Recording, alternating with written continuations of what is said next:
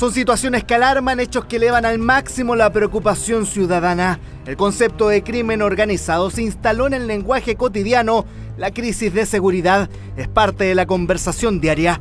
El cómo enfrentarla es materia de debate. Estado de excepción constitucional para poder agilizar todos los trámites para, por ejemplo, dotar de armas modernas y abrumadoramente poderosas a nuestra policía. Cerrar la frontera efectiva, pero no con una declaración.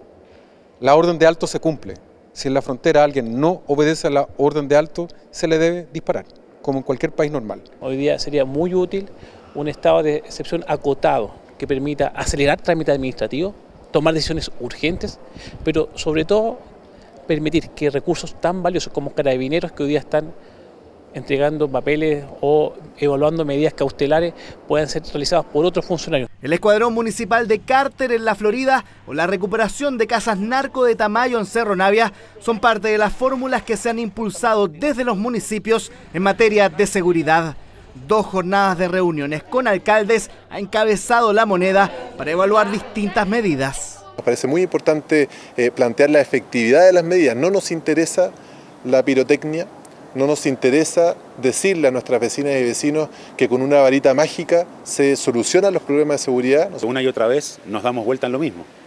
Y creo que lo que está faltando es el sentido de urgencia por parte de diversas instituciones que tienen que colaborar en el combate a la delincuencia en nuestro país. El fenómeno del crimen organizado se tomó gran parte de la cuenta pública de las fiscalías metropolitanas.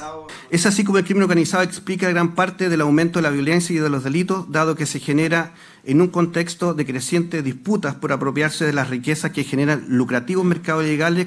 El balance del Ministerio Público dio cuenta que en un 12% aumentó el número de homicidios en la capital en 2023 en comparación al año 2022, mismo porcentaje en el que se incrementó la cantidad de secuestros en la región metropolitana, los que llegaron a 403 el año pasado.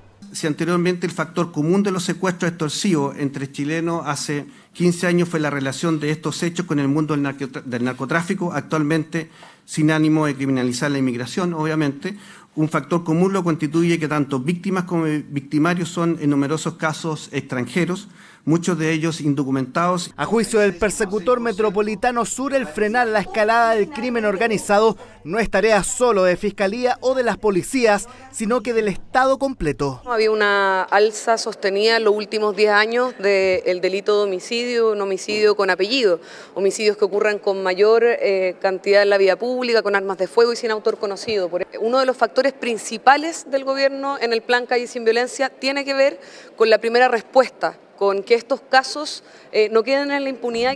En las próximas semanas, según los alcaldes, habría una nueva reunión de los ediles con el gobierno que incluirían anuncios en materia de seguridad. Bueno, y en relación a esto mismo,